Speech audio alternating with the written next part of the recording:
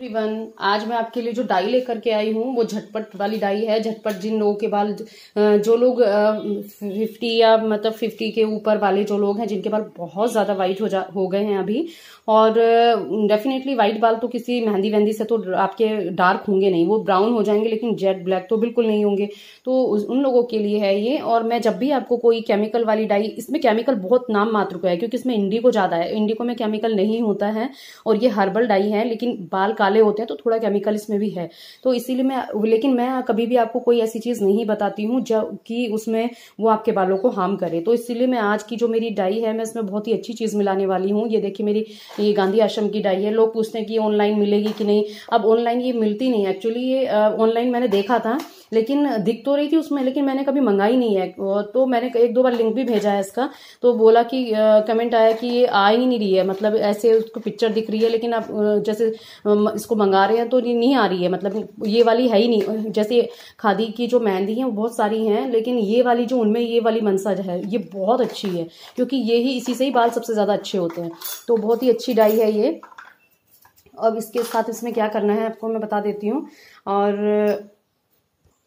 तो इसको क्या है? मैंने इसको देखे निकाल करके रखा है इसमें। ये वाली देखिए, अंदर से ऐसे ऐसे इसमें तीन पैकेट आते हैं, इस टाइप के। और इसका डब्बा ऐसा होता है और खादी की बहुत सारी मेहंदी आती हैं। किसी किसी से तो बाल बिल्कुल भी ब्लैक नहीं होते हैं। तो मैंने खादी की दो तीन, में जो मेहंदी है वो ट्राई की हैं और जब मुझे लगा कि जिससे एकदम जेट ब्लैक कलर आता है तो वो यही वाली डाई है। तो ये एक्चुअली जो खादी के स्टोर होते हैं, वो ये वहाँ मिल जाती है और स्टोर हर शहर में होता है हर जगह होता है। तो अगर हो सकता है आपके शहर में ना हो तो आप आसपास कहीं ट्राई कीजिए सर्च कीजिए गूगल पे, क्योंकि ये ये आपको ऑनलाइन तो पता नहीं मुझे मिलेगी कि नहीं मिलेगी। और लेकिन ये आपको ऐसे स्टोर में बहुत मिल जाती है वाली। और ये वाली ही डाई सबसे बेस्ट होती है मनसक, ये वाली। तो इसमें ऐसे ऐसे तीन पैकेट निकलते हैं। और ये 51 या 52 का आता है ये डब्बा, पूरा पैक और इसको अब कैसे बनाना है? तो इसमें मैंने जो लिया है, ये लिए, ले लिया है ना, इसके बाद मैं आपको दिखाने वाली हूँ। इसमें मैंने अपनी दो चार जो मेरी हर्ब्स हैं, मैंने आंवला और इसमें मैंने शिकाकाई, और गुड़हल के पत्ते, फूल और कलौजी, ये सबका मैंने इसका पानी बना करके रखा है ताकि ये आपके बालों को बिल्कुल भी हार्म ना करे। और इन सब चीज़ों से आपके बाल सॉफ्ट भी होंगे, आपके बाल इससे तो काले हो जाते हैं, इसको तो सिंपल पानी से भी अगर आप रेडी करते हो तो बिल्कुल एकदम ब्लैक होते हैं। लेकिन ये सब चीज़ें मैं इसलिए डालती हूँ ताकि अगर इसमें कुछ भी आपके बालों को कोई चीज़ हार्म करती हैं तो ये वाली चीज़ इसमें जब मैं ऐड करूँ तो आपके बालों को कोई चीज़ बिल्कुल भी हार्म ना करें। और आपके बालों को बहुत ज़्यादा ये वाली डाई आपके बालों को इस पानी के साथ ऐड हो सीरम के साथ ऐड होने के बाद पूरा पूरा प्रोटेक्ट करे। तो बहुत ही अच्छी डाई है ये। अब इसको क्या करना है, इसको पानी को इसमें मिला देना है। देखिए, ये ऐसी थोड़ी उठ जाती है ये तैरती रहती है पानी के ऊपर। तो इसको क्या करना है? आपको थोड़ा चलाना है, क्योंकि अगर आप इसको चलाओगे नहीं तो ये क्या पानी के ऊपर ऊपर रहेगी, और फिर ये क्या होता है? इसको दस मिनट के बाद लगाना होता है। जैसे अभी मैंने पानी डाला, आपको एकदम से चला के ऐसे नहीं लगाना है, क्योंकि ये नीचे बैठ जाती है, इसका पानी सोख लेती है। तो इसको फिर से आपको पानी डाल करके फिर आपको इसको रेडी करना है, क्योंकि ये थोड़ी, जैसे इंडिको पाउडर होता है ना नीचे बैठ जाता है, पानी सोखता है तो वैसे ये भी होती है सेम चीज़। और इसमें भी इंडिको पाउडर ही होता है, इसमें बस थोड़ा बहुत केमिकल होगा, अगर होगा तो अदरवाइज़ ये इसमें ज़्यादा करके ये हर्बल हेयर डाई है केमिकल तो थोड़ा होता ही है, पर इंडिको पाउडर भी इसमें है तो बहुत ही अच्छी है ये। और इसके बाद जब मैं आपके इस वाले पानी से इस डाई को रेडी करती हूँ तो बहुत ही ज़्यादा, बहुत इफ़ेक्टिव डाई हो जाती है ये।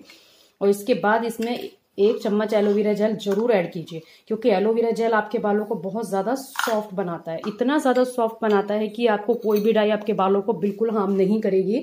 आपके बालों को बहुत ज़्यादा सॉफ्ट बनाएगी, आपके बालों को बहुत ज़्यादा ब्लैक बनाएगी और बहुत ही अच्छी डाई है ये, और इसको आप ज़्यादा देर भी नहीं लगा सकते, क्योंकि इसको क्या है, इससे बाल बहुत जल्दी आपके ब्लैक हो जाते हैं। तो इसको आप आधा घंटा रखिए बस।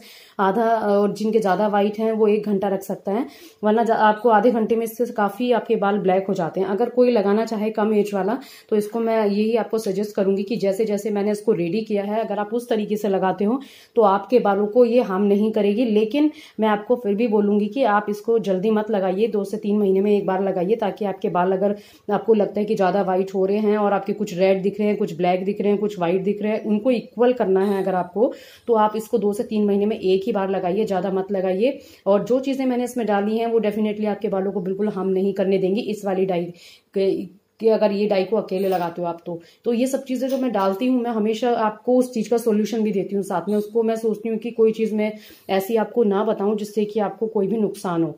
तो उस चीज़ को रिपेयर करने का काम जो चीज़ आपको हम करने वाली है, जो डाई आपके बालों को जिस जिस तरीके से तो वो मैं उसमें सब चीज़ें ऐसे डाल देती हूँ कि आपके बालों को बिल्कुल भी हार्म नहीं करेगी। तो बहुत अच्छी डाई है, बहुत इफ़ेक्टिव डाई है ये। तो अगर आप इसको इस तरीके से यूज़ करते हो तो डेफिनेटली आपके बालों को बहुत ज़्यादा फ़र्क पड़ने वाला है।